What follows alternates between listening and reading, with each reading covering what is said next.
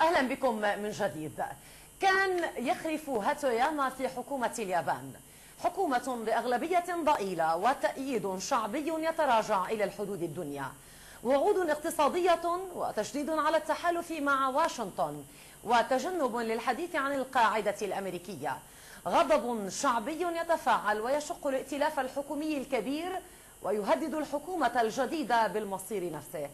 اليابان قوة اقتصادية تتجاوز القارة ونفوذ سياسي يعجز عن إزالة قاعدة. قاعدة أوكيناوا أقوى من رؤساء الحكومة في اليابان ورمز للنفوذ الأمريكي في البلاد. فهل تصمد حكومة كان أم تسقط على بوابة قاعدة أوكيناوا؟ انتخب البرلمان الياباني وزير المالية السابق ناوتو كان خلفا ليوكيو هاتوياما الذي استقال بسبب خلافات حول القاعدة الأمريكية في جزيرة أوكيناوا وفضائح عملية لطخت سمعة حكومته.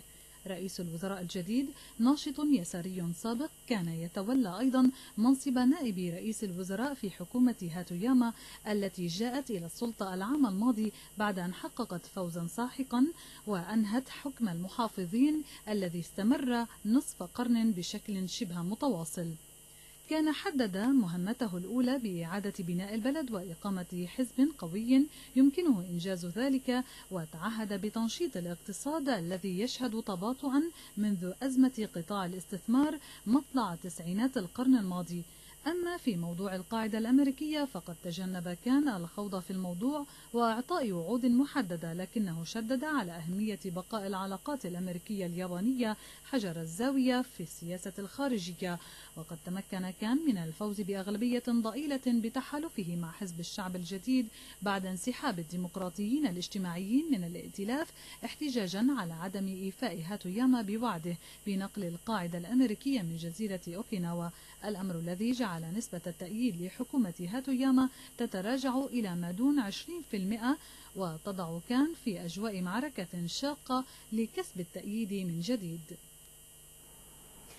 مشاهدينا عن هذا الموضوع أبعاده وتداعياته أرحب من دمشق برئيس مركز دراسات الصين وآسيا والسفير السوري الأسبق في الصين الدكتور محمد خير الوادي.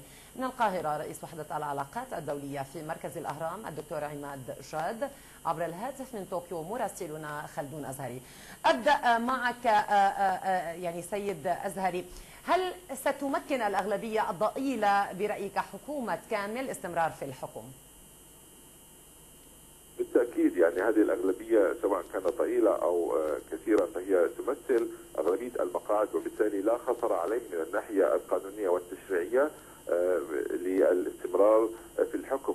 في الواقع الخطر الرئيس أمام رئيس الوزراء المقبل المنتخب كان هو في الواقع الانتخابات التي ستجري في الشهر المقبل لمجلس الشيوخ ولهذا يريد الآن تركيز على تحسين سمعة الحزب وتحسين سمعة الحكومة وبأنه فعلا جاء بفريق جديد ليس عنده أي فضائح مالية وأيضا لا يريد المواجهة مع الولايات المتحدة في مجال القواعد الأمريكية في أوكيناوا. يعني يريد تهدئة اللعب كما يقال على الأقل كي يخرج من الانتخابات المقبلة بنتائج جيدة ولا يخسر المقاعد التي بحوزة حزبه طيب يعني هذا طبعا. يعني خلدون هل هذا يعني بأن تجربة هاتوياما ستكون درسا يستفيد منه كان رئيس الحكومة الجديد في إعادة شكل العلاقات مع الولايات المتحدة الأمريكية هذا خارجيا وداخليا بموضوع الملفات الاقتصادية؟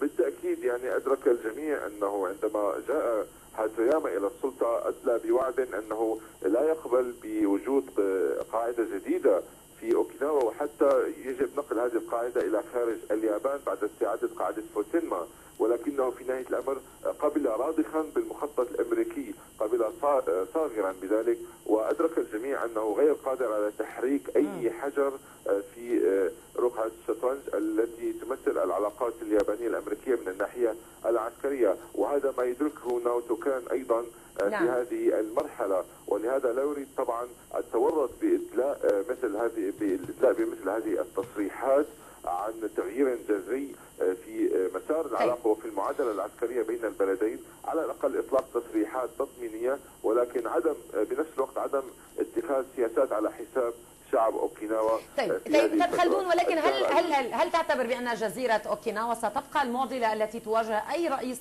حكومة في ظل المعارضة آه، الشعبية لعدم آه، آه، وجود هذه القاعدة؟ وبرأيك هل ما زالت هذه القوة الشعبية موجودة يعني ضد القاعدة الأمريكية؟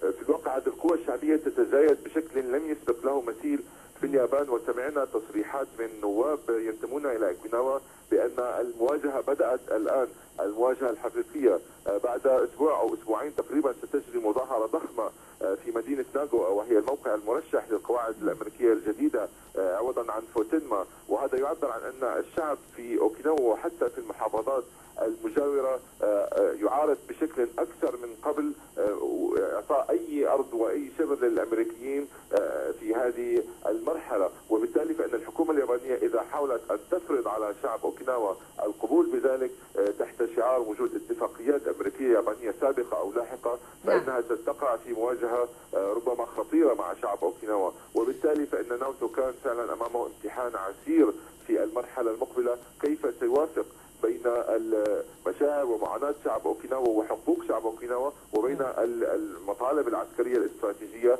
للبنتاكون نعم. ليس هناك شيء إلا سيكون على حساب الشيء إذا الامتحان الأصعب سيكون أمام رئيس الحكومة اليابانية الجديد. كان أشكرك عبر الهاتف من طوكيو مراسلنا خلدون أزهري على هذه المشاركة. أنتقل إلى القاهرة. يعني دكتور جاد لماذا الإصرار الأمريكي على إبقاء قاعدة أوكيناوا في اليابان على الرغم من هذه المعارضة الشعبية الهائلة والتي تزداد يوما بعد يوم؟ يعني هذه ترتيبات ما بعد الاحتلال الأمريكي لليابان في نهاية الحرب العالمية الثانية. اليابان استسلمت للولايات المتحدة الأمريكية. الولايات المتحدة قامت بكتابة الدستور الياباني ووضعت النظام ومنعت اليابان من امتلاك آه، جيش قوي وامتلاك آه، سلاح متطور.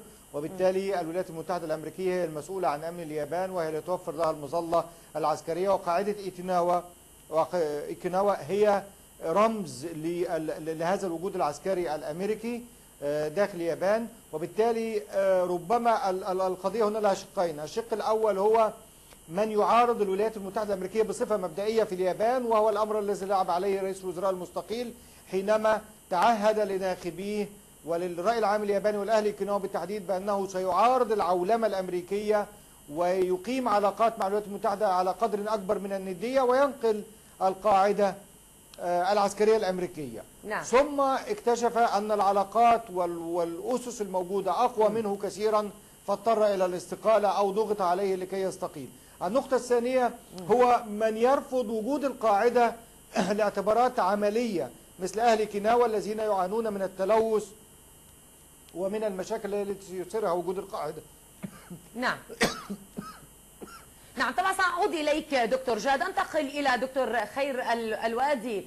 آه، آه، يعني دكتور آه، خير الوادي كما يتحدث الدكتور جاد من القاهرة. إذا هل الحكومات السؤال الذي يطرح نفسه المتعاقبة في اليابان مقيدة باتفاقية الاستسلام بعد الحرب العالمية الثانية؟